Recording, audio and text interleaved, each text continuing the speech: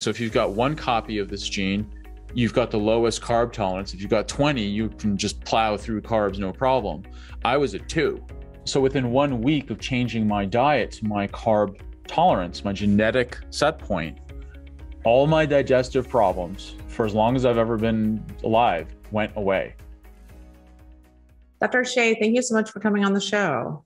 Thanks for having me. I really appreciate it. Yeah. So, why don't you tell us a little bit about yourself and, and how you got involved in functional medicine and especially genetics? Sure. So, uh, my, my background's very common narrative for a lot of people who get involved in functional medicine. The, the common narrative is that they got sick with something or struggled with something, or they watched a dear family or friend go through it. And through that tremendous amount of pain, they tried all these different solutions and then found the solution or collective solutions known as functional medicine. So that's the short version. The slightly longer one is that I grew up, both my parents were medical doctors, and they had a really nu- bad nuclear divorce. Like to, me and my sisters were caught in that blast radius.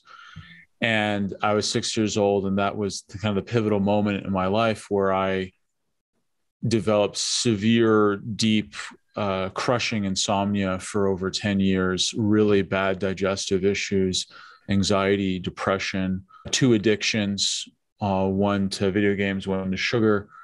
And in school, uh, at home, it was kind of an emotional war zone. At school, on top of what was happening at home, it was kind of a physical war zone where I was uh, assaulted a lot, and there was no. The school never did what it should have, which is to intervene, stop, and uh, protect the the smaller students amongst them. Uh, and I remember just you know I would I, I had such bad insomnia that actually stunted my growth. Uh, the you know, the biggest growth years are you know uh, for me it was like six to eighteen, and I remember lying to my school teachers saying that I felt sick because I'd feel so tired in the afternoon, like I'd be falling asleep on my desk around 2, 3 p.m. I now know why from, you know, all the work and understanding circadian rhythms and adrenal rhythms and so on. But of course, back then, and I'm in second grade, I don't know any better. I just feel so tired. I can't keep my eyes open. So I would lie and say I felt sick just to go down to the nurse's office to take a nap. And basically, when I was a teenager, I, I made a decision that I have to get myself better or I'm going to do something rash. And uh, I found Dr. Jensen's Guide to Better Bowel Care and he's considered the grandfather of Western naturopathy in, in at least in the States. And then through the help of a, a coach and later a mentor uh, named Eliza, she did what was called Brain Gym with me, which is a form of mind body kinesiology where it was I, I learned from her that it is possible to change the body to change the mind change the mind to change the body that there was a two-way direction that there there was an empowerment there it was i wasn't just a, a victim of my own body I, I remember waking up I mean, the, the contrast is was quite stark. I remember waking up at 3 a.m. on the dot, like, like I would for 10 years before I met her, like just waking up in this silent rage at my body, like hating it, hating my body. Like, what do you want from me? Why don't you? What do you want from me? What do you want? It was like, it was, I mean, it sounds a bit harsh, but it was like an abusive relationship. I'd be punished my body uh, my my uh, my perceptions my my body would punish me for something uh, for a crime i didn't know i was committing. And i'd be punished and punished. And then randomly i'd feel good. It's like i was gaslit. And then suddenly my body would punish me again. And, and i just couldn't negotiate. I didn't know what to do except be punished and trapped in this relationship and I learned. I, mean, I think a lot of people suffer with like self hatred with their body and yeah. health PTSD and, and things like that. So many struggle with that. Yeah, it's it's a very common and and there's a lot of it's it's it's not even just self hatred and uh, like this combative relationship with the body. There's also a tremendous amount of shame. A tremendous amount of shame. Like what's wrong with me? There's some everyone else seems to be doing fine. I mean, I just at some point I was you know, when I was growing up, I was like, clearly this is all my fault because everyone at school hates me. I get no support at home and people are yelling and lying. My body is attacking me. So clearly it's, it's, it's me because there's no feedback that it's not me, even for my own body. So that was formative that experience and then thankfully i i, I started reading really uh, good books on mind body and natural medicine and i met on eliza and i learned that the, the body is a partnership. It's, it's not a combat not a not a combative relationship. And then i went into college and studied pre-med and then a holistic health practitioner degree in the evenings and weekends. And then just with the with the sole goal of like trying to heal myself and also to become a doctor, but not a medical doctor anymore, but a, a, a natural doctor. And then went on dot dot dot went into chiropractic school and did two to three postgraduate seminars a month for every month that I was still in school, starting right from the first trimester. So I was just taking a well over a hundred postdoc seminars by the time I finished school, on top of studying and and you know, going really deep into neurology, nutrition, lifestyle. And then uh, when I was in New Zealand, uh, had a clinic out there for, I was in clinic for eight years. And I also did acupuncture, got an acupuncture degree. I was out there, got very heavy into functional medicine while I was in New Zealand, particularly focusing on adrenals, thyroid, mitochondria, gut, and then later on genetics. And so that the tie into genetics was that genetics was the missing piece in the functional medicine space. So, functional medicine, for I, my favorite definition is it's the best of Western medical diagnostics with the best of natural medicine lifestyle interventions. So, functional medicine. So, my definition of functional medicine is we use the best toys from Western science to get numbers, data, readouts, statistics, information. And then from that, we can then utilize all the wonderful uh, hundreds and thousands of years of wisdom in terms of how to correct the body from lifestyle, diet, nutrition, and then also use targeted supplements, which is all again this kind of estuary of Western science and natural natural medicine to get someone better. And what was missing in my life was the genetics component despite having radically improved my life, my health, you know, changing my my my functional lab markers and everything else, and, and improving my adrenal, all, all these things, I was still struggling with bad digestive problems and chronic joint pain. Now I had joint pain like an old man, and it just didn't make any sense. And finally, I learned about genetics, and what I found. And I just took the seminar because it was recommended to me, and I always like learning about things and genetics is a thing. So I'm going to learn about a thing. So here we go. And I did the genetics testing on myself and I found that I was eating the wrong diet for my genetics, that I had a perfect Portlandia diet, you know, Mediterranean, like knew the names of the chickens, you know, the quinoa was grown in the South Island of New Zealand, picked by left handed monks on a full moon, sung in low tones and high tones, you know, you know the bags were airlifted by butterflies whatever. It's just the bag you know i have these perfect bags of quinoa you know soaked sprouted etc and i was still having really bad digestive problems problems so bad would like empty a yoga room or i'd be in pain or and it just I, I didn't get it. I was eating so well. I was even teaching nutrition. So, what it turned out was that my Mediterranean style diet wasn't appropriate for me from a carb tolerance standpoint. I have the carb tolerance of an Eskimo or an Inuit, not the carb tolerance of someone that lives on the latitude of middle to southern Europe. So my ancestry came from Russia, like northern parts of Russia. So it makes sense that evolutionarily there's not a lot of carbohydrates in like the winter is like an annual natural catastrophe. You know, it's it's I have the second lowest carb tolerance you can have. There's there's people can have one to 20 copies of the specific gene that spits out amylase and it's a linear it's a linear thing so if you've got one copy of this gene you've got the lowest carb tolerance if you've got 20 you can just plow through carbs no problem i was at 2 so within one week of changing my diet to my carb tolerance my genetic set point all my digestive problems for as long as I've ever been alive went away. All you had to do was go carnivore. well, uh, not not quite carnivore. Uh, it was it was paleo paleo bordering on keto. People who have one copy, they're pretty much keto. Twos straddle keto, keto paleo. Threes and fours are really kind of paleo. Fives to eights are shades of gray of Mediterranean, and nine and above are shades of gray of higher carb or rather higher starch.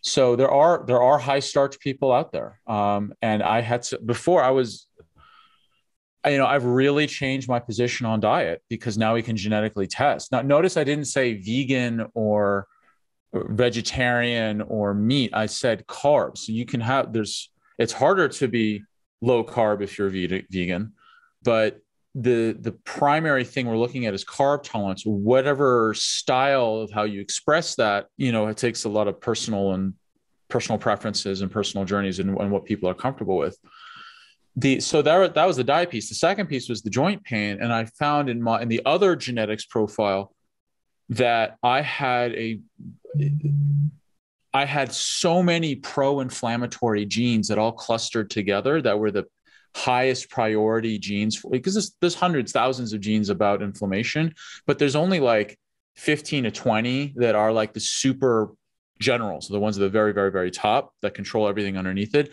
i had the majority of those be negative variants. So I was an avid over inflamer. So any little thing would trigger inflammation and it would sit in my joints. It wouldn't go to water retention, inflammatory water weight gain like it does with a lot of other people because I have a different set of genes that control how my fat and water is distributed. But instead, all the inflammation went to my joints. So when I learned that, I then she made the changes with that I learned from within the genetics profile. Uh, more specifically, what's called nutrigenomic dosing. It's kind of getting into the weeds here, but nutrigenomic dosing is different from nutritional dosing.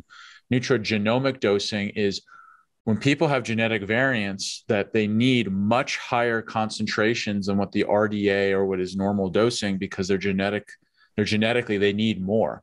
So i have a way higher need for fish oil like six grams a day than the one gram that most people are told to have.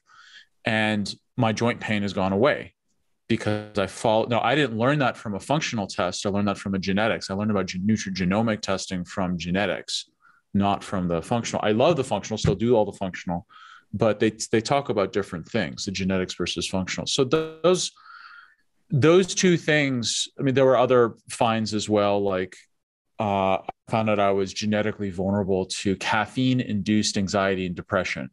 And so for people caffeine induced anxiety and depression there's a percentage of population which i'm one that caffeine actually triggers anxiety and depression.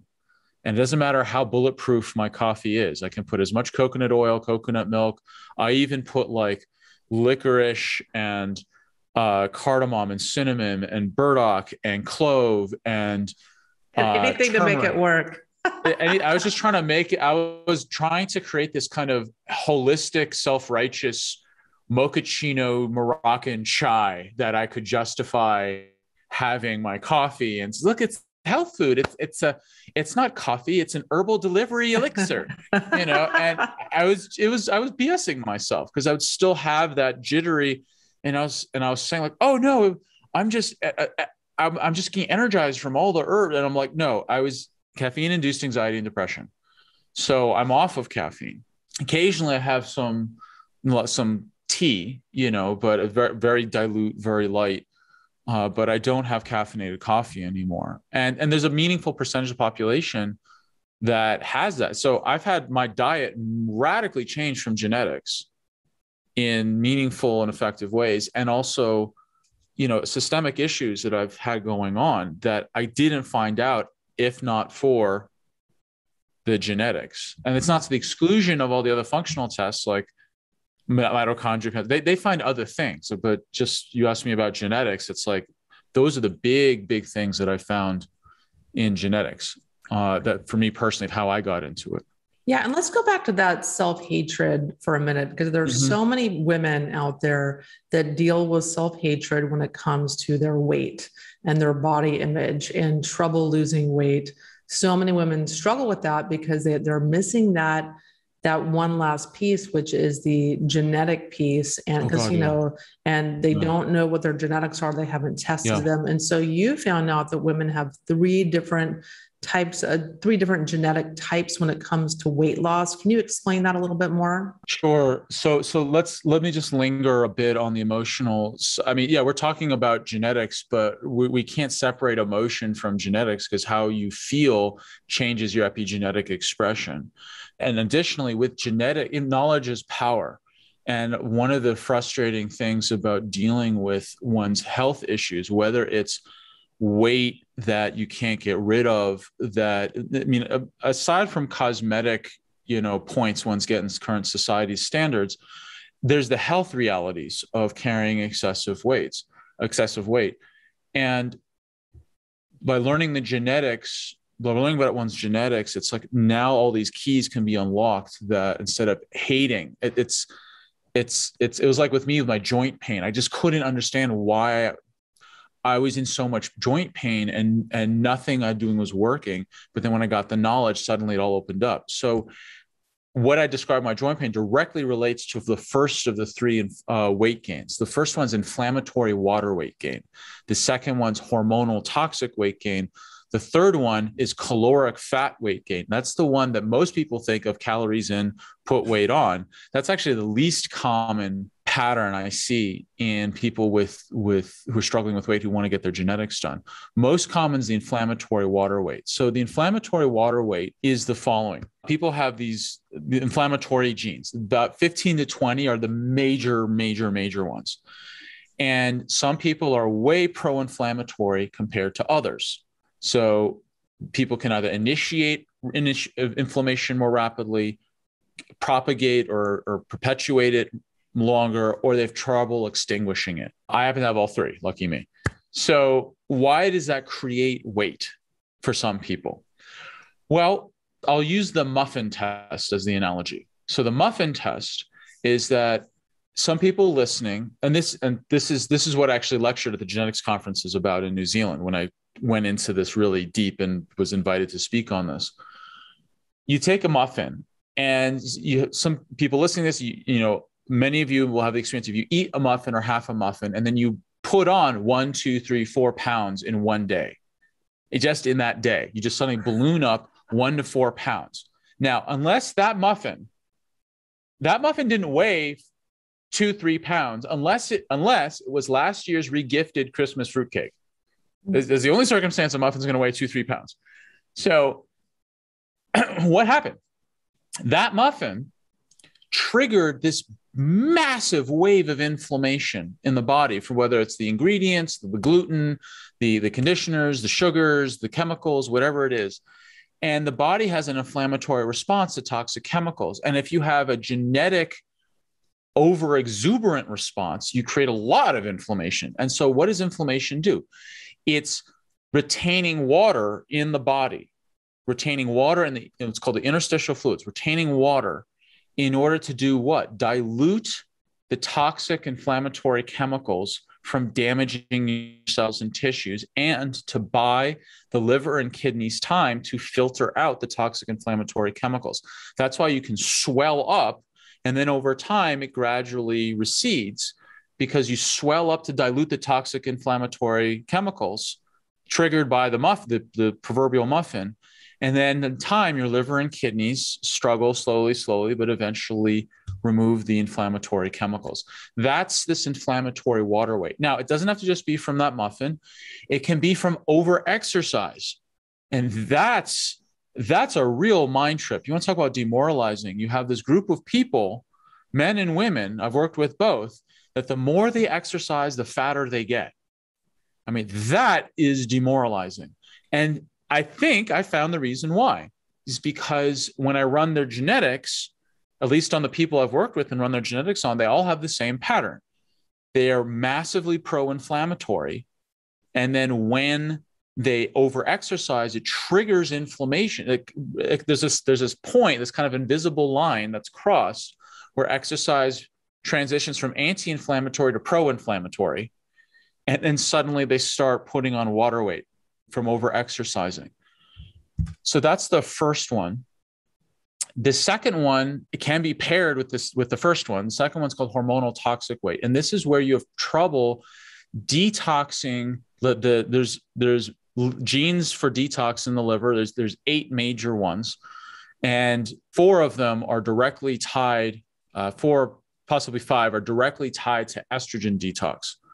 So when people have these genetic problems, uh, variants, they're not able to detox estrogen fast enough, then they develop estrogen dominance. And so it's a combination. It's not, it's, it's not just like you have the genes and suddenly you're estrogen dominant. It doesn't work like that. You have to have the environmental triggers. So I look for do you have exogenous or external sources of estrogen affecting you? Whether it's, I mean, your, your audience has probably heard this list before. It's like microwave plastic, bad makeup, certain insecticides, pesticides, growth horm- uh, hormones injected into certain meats in certain countries, uh, soy products, um, makeups, body lotions, etc. Like there's things out there, plastic, uh, I said plastic, uh, petrochemicals, certain, all sorts of stuff can mimic estrogens. So you have the external exposure, but then the inability to get rid of it. That's what creates the estrogen dominance. So what happens is that especially when they're combined, the inflammatory weight gain and the hormonal toxic genetic weight. So for a man, these are the two case, case studies I presented at one of the conferences. Both of these men were large, were overweight, had chronic joint pain. The more they exercised, the more pain they were, the more they put on weight. And they both had man boobs. Now, I presented at the genetics conference on this phenomenon, not because I have some weird fixation on man boobs. I'm just observant.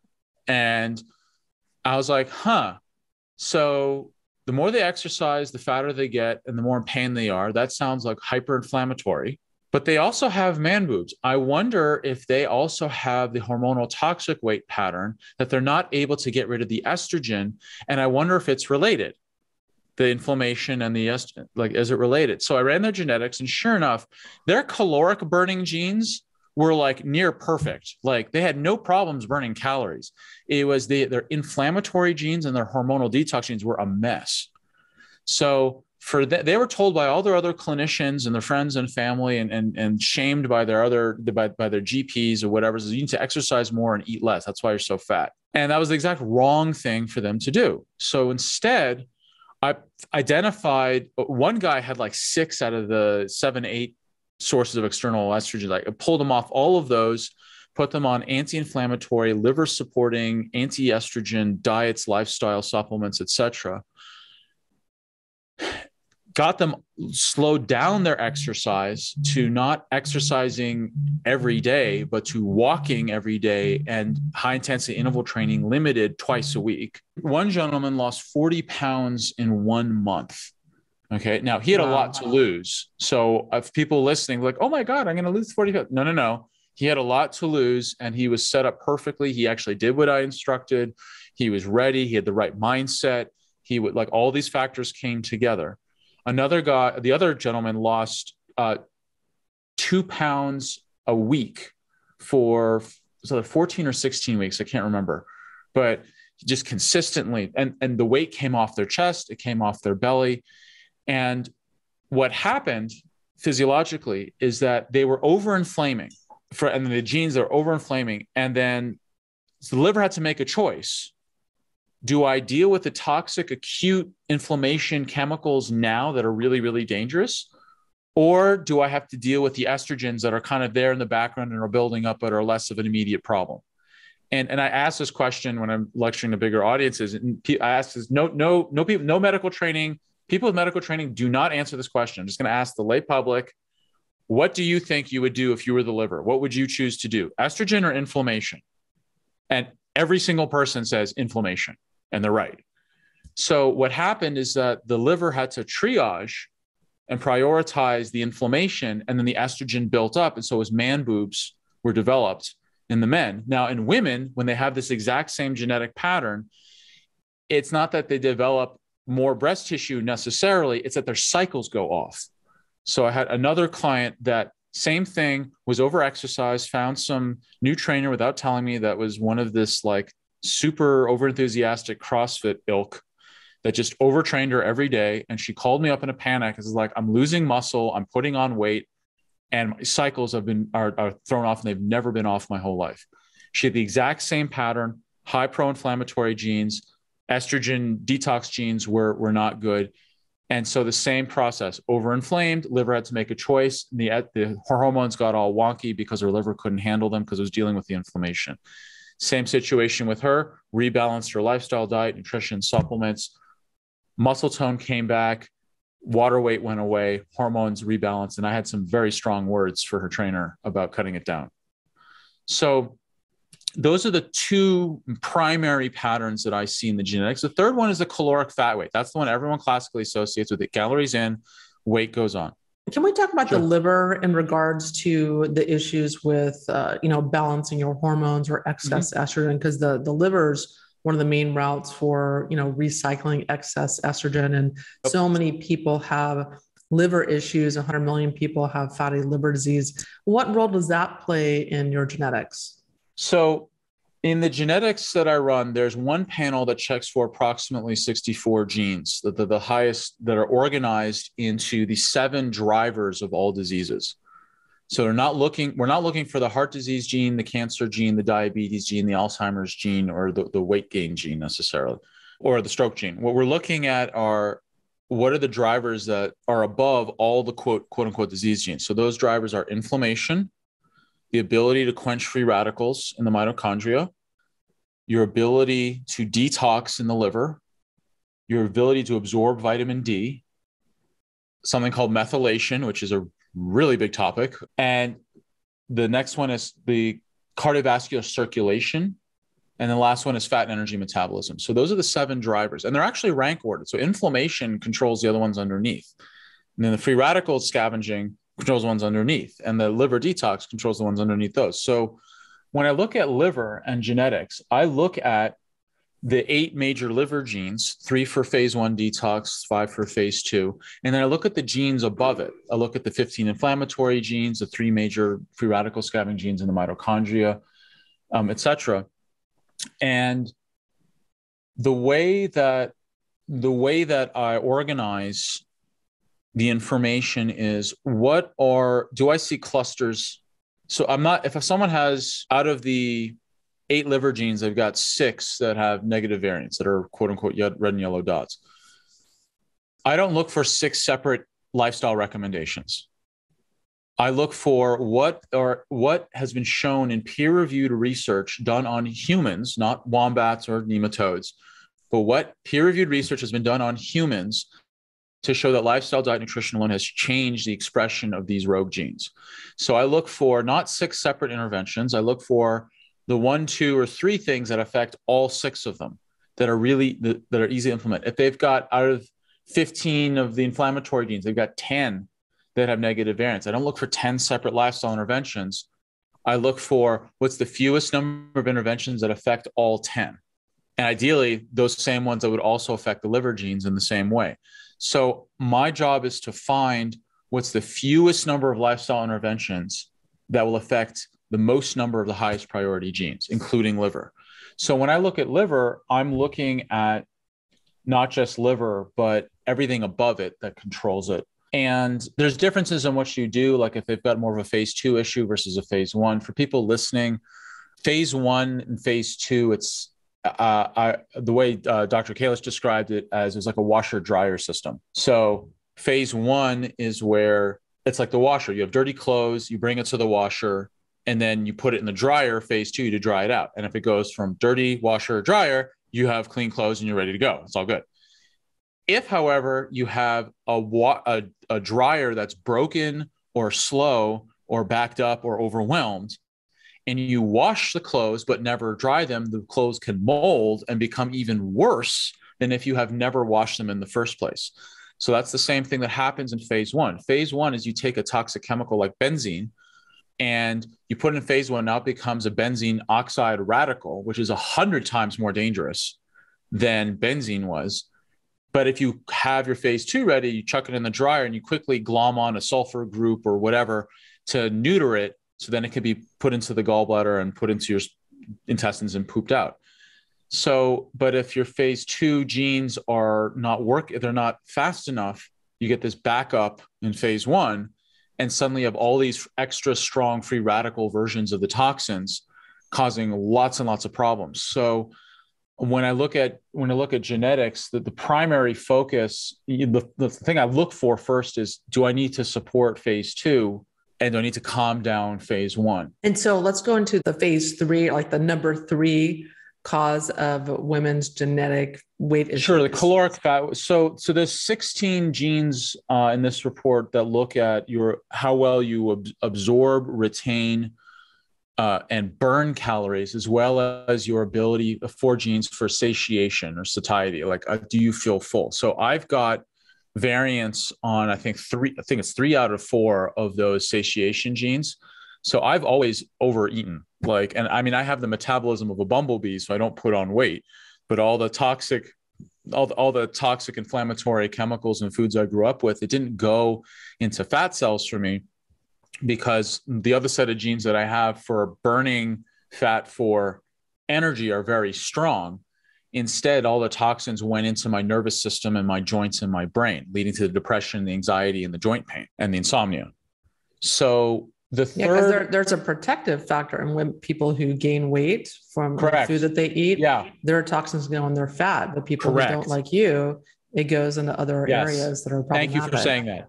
When I've lectured in, in, in to public audiences, I've gotten one or two snarky remarks. Well, lucky you, you don't burn put on fat. It's like, and I pause and said, now hold on, it's all about trade offs so yeah supposedly lucky me i'm very you know svelte in a muscular body but the problem is is i have no buffer. I have no buffer at all to toxic chemicals inflammation or other stuff that that the body throws into the fat cells which are the dirty dirty closets of the body. It's the dirty closet of the body. Just shove it all in there and when we have time and the resources and the focus we can then detox. But until then it just goes there. Okay so that's that's a safety buffer that people have. I don't have that. So where does it go? Into my nerves, into my brain, into my organs, and into my joints. And so I feel it immediately. If people study Ayurveda, uh, the Pitta constitution, the fiery constitution of which I'm definitely one, we're mesomorphs. We're like they talk about Pitta people are. I mean, they these ancient systems of healing didn't have the Western scientific tools, but they had these wonderful metaphors and thousands of years of observation. That people with the Pitta uh, constitution, like me, they they can't burn dirty food. Like they the the that, that's the metaphor, like burning dirty dirty fuel. Like we get affected psychologically way faster and physically way faster from dirty food food and dirty pollution than people who can layer on fat, like the the kapha body types, the the fatter body types, you know, jolly old Santa, like because they're not the toxic chemicals aren't going up to their brain as readily as they are for people like me. So when we look at the calorie fat weight genes that people have, I look for do they have the genes to control satiety, satiation? And so then if and if those are, are off, then we engage uh, lifestyle changes to help them. You know, as someone who was a former food addict, I'm I have a lot of expertise in that the hard way of how to help people with their satiation. Then I look at the genes that burn fat for energy and the genes that burn fat for heat.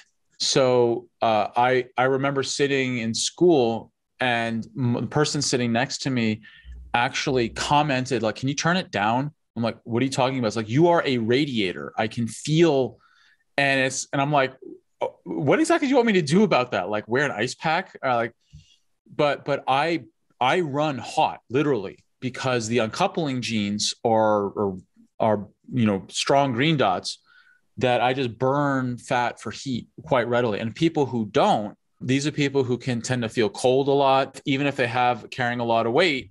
Uh, they still can feel cold. And that may be a thyroid issue as well and some other things. But if people aren't burning fat for heat, they this can be one reason why they feel cold. Uh, and if they're not able to burn fat for energy, it may be one reason why they can feel tired, is because they're not more easily, readily able to burn an entire fuel source of fat.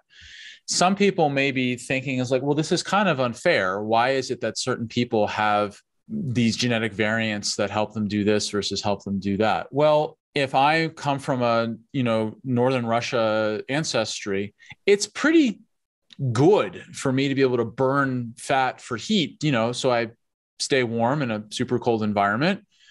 Uh, then there's the pro-inflammatory genes. Like, why some people have these really terrible genetic variations where they're so pro-inflammatory? And the answer, based on anthropology, is really straightforward. What is the point of inflammation?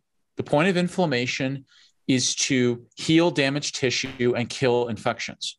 Why is that relevant in anthropology? Well, if I'm a hunter gatherer and I go with my band of hunters to go try to take down a very large animal with a tiny stick, one or more of us is going to be bitten, mauled, trampled, or gored. And if I have a really strong inflammation response, what is a bite wound from an animal? It's an injection of pathogens from their teeth and saliva, and it's a tearing of flesh. So, what does inflammation do?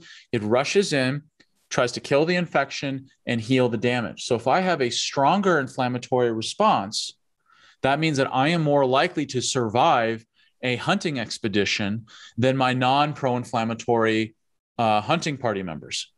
So, it's all trade offs, even the inflammation, it's all trade offs. And so, we just happen to live in a current society, you know, us moderns, where there's not a lot of physical, relative to how we used to live, there's just not a lot of physical trauma that would have necessitated having high inflammatory genes as a genetic advantage. Yeah. And so you articulated that so well because I think uh, people tend to they they go with the calories in calories out kind of mantra that that's how you lose weight and people punish themselves and hate themselves and they get on the scale every morning. And so you articulated that so so well better than i think anyone i've had on the show thus far.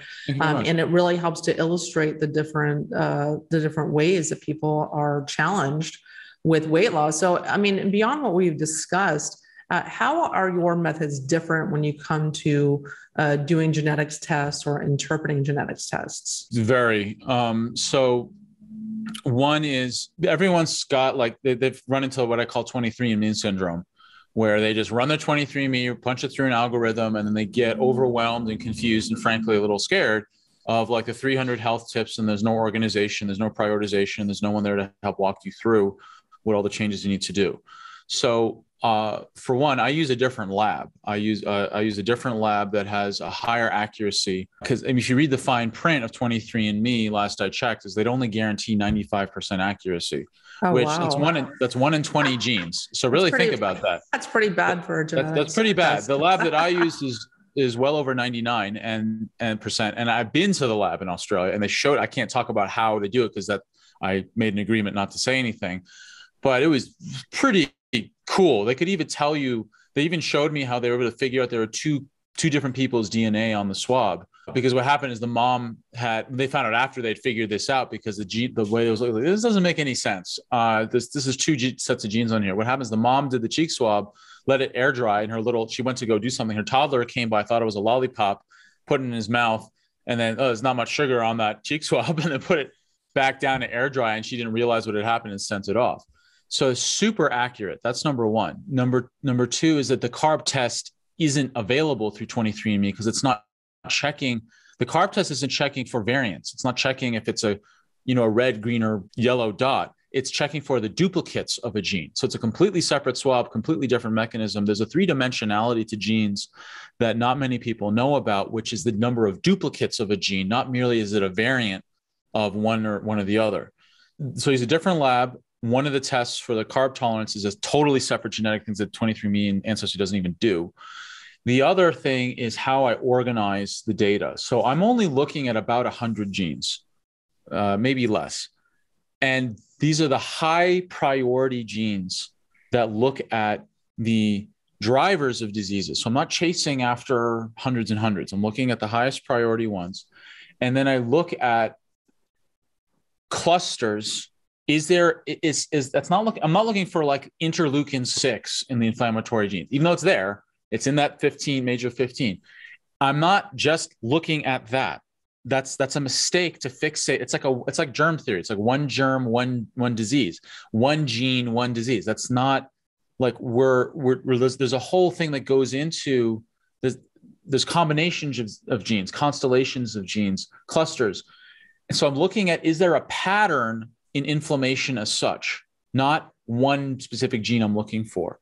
And if there's a pattern of overinflammation, then I can focus there on the lifestyle changes according to that pattern. Just like if there's a pattern of liver detox problems, a pattern of, of problems of quenching free radicals in the mitochondria, a pattern of problems dealing with the caloric fat genes.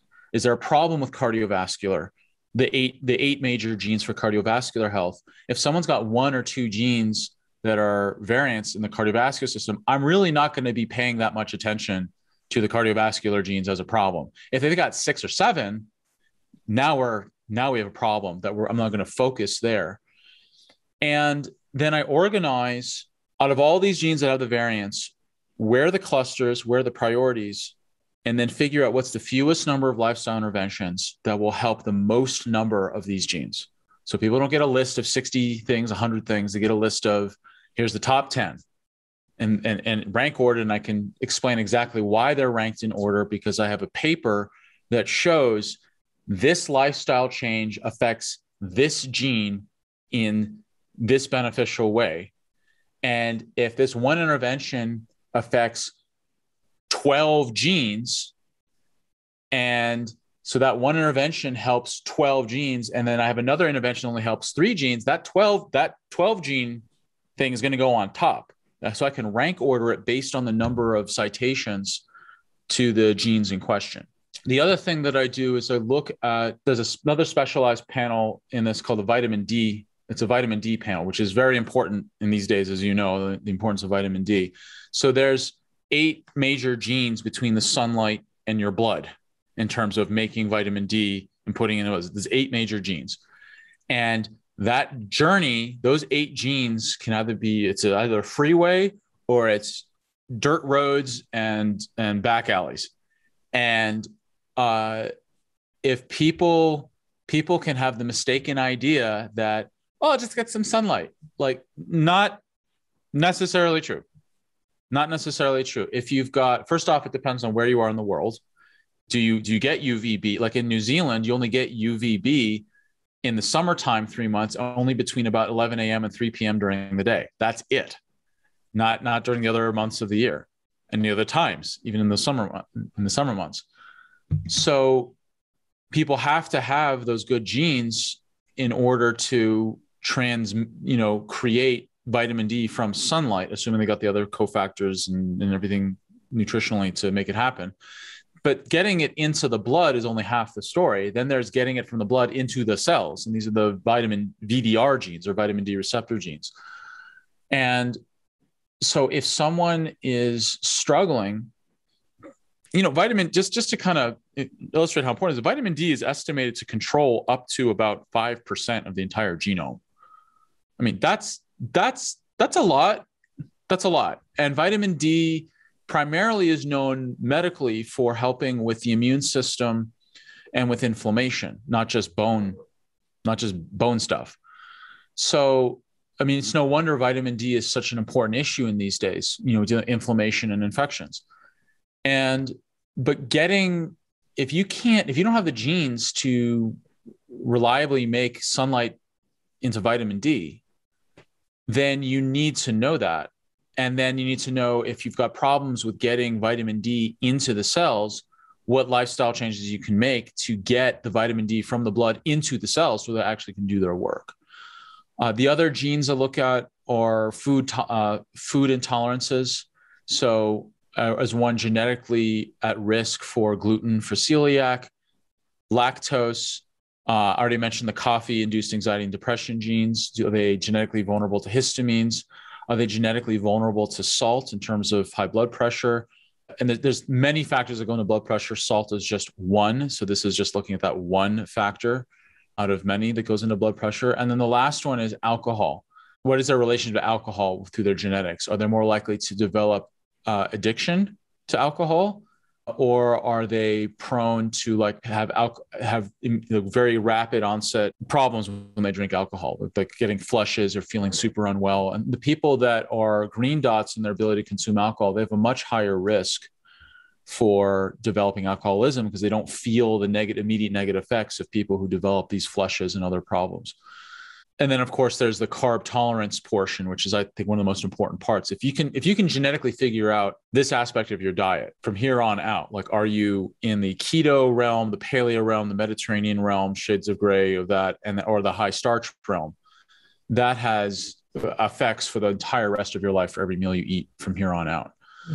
so that's and i customize like there's the official reports with all the jargon and kind of the alphabet soup of all the gene names and you know and it's just all and but what i do is i take all the official reports and customize them down into someone's personable actionable prioritized report.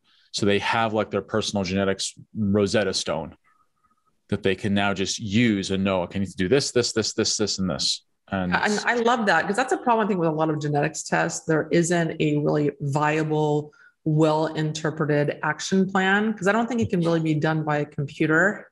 Uh, you know because there's so it's so complicated um, how all the genes interact with each other. And I think it takes a human, for the most part, to interpret the genetics and create this action plan. So I think that's fantastic. Thank you. It's it's um, I've had many people come to me with 23andMe syndrome and just be overwhelmed, confused, and also scared because they they see they because people don't know like what genes are the highest priority, but they think, oh my God, this gene's at risk for this, this, this, this, and this and they don't realize that that's true if your inflammation genes are not behaving well. That gene you're worried about is actually way downstream. And, and going back to the original discussion around like the emotions and, and like the self-hatred and the shame and but even just understanding that okay i'm an over inflamer genetically that makes total sense from a hunter gatherer point of view. So I no longer hate my genes, hate my parents for that, or hate what or whatever. Like I, am not in this kind of oh my god, I am flawed, deeply flawed in some un, uh, uh, irretractable way on my on the gene levels. Like no, I'm just I have the genes that are adapted for a specific situation. You know, same thing with with hormonal and estrogen detox. Like